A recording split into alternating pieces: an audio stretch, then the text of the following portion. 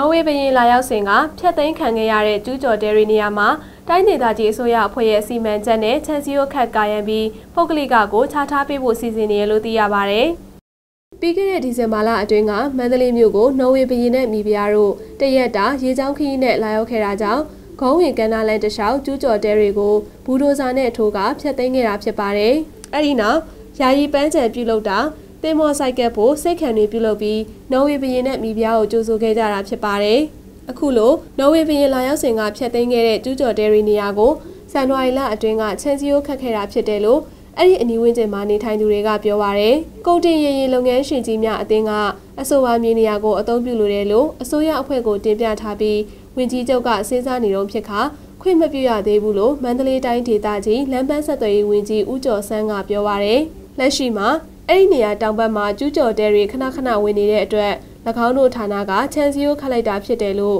ဦးကျော်ဆန်းကချန်စီယိုခတ်တာနဲ့ပတ်သက်ပြီးပြောပါရယ်မန္တလေးကုန်တင်ရေရင်ကြီးများအသင်းဟာအဆိုပါနေရာကိုသင်္ဘောချင်းတွေအနေနဲ့ရေရင်တွေတိစောက်တာသင်္ဘောတွေထိခိုက်ပျက်စီးမှုတွေကိုပြုပြင်နိုင်မှုအသုံးပြုလိုတယ်လို့အစိုးရအဖွဲ့ကိုလျှောက်ထားခဲ့တယ်လို့သိရပြီး မြင်းနေရမှာညနာအဖွင့်ပေး450ကိုအသုံးပြုမယ်လို့သိရပါဗျ။ဒီဇင်ဘာလ6ရက်နေ့ကမန္တလေးမြို့ကိုလာရောက်မဲ့နော်ဝေဘရင်ခရီးစဉ်အတွက်ကန်နာလန်ကျူးကျော်တဲတွေကိုနိုဝင်ဘာလကုန်ကလေးကစတင်ဖျက်သိမ်းဖို့ညွှန်ကြားထားပြီးဖျက်သိမ်းခဲ့တာဖြစ်ပါတယ်။ဒီလိုဖျက်သိမ်းခဲ့ပေမဲ့လည်းနစ်နာကြီးအနေနဲ့တဲတွေကိုဖျက်သိမ်းရွှေ့ပြောင်းခအနေနဲ့ပေးခဲ့ခြင်းမျိုးမရှိဘူးလို့သိရပါတယ်။ဖြတ်သိမ်းခံရသူတွေဟာကျူးကျော်ပြန်ကြတွေဖြစ်ပြီးအဆိုပါမြေနေရာဟာအစိုးရပိုင်မြေဖြစ်တာကြောင့် ဖြတ်သိမ်းရွှေ့ပြောင်းကပေးစရာမလိုဘူးလို့တာဝန်ရှိသူတွေကဆိုပါတယ်။